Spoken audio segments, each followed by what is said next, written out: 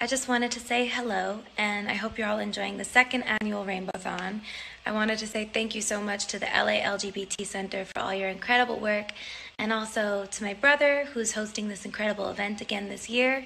I'm so proud of you, and I love you so much, and I love this show. I've had some sneak peeks, and it's so much fun. And I'm so excited to introduce this next performance by my brother Frankie and the Jason Esthetes. It's a very moving piece, but I'll let the art speak for itself.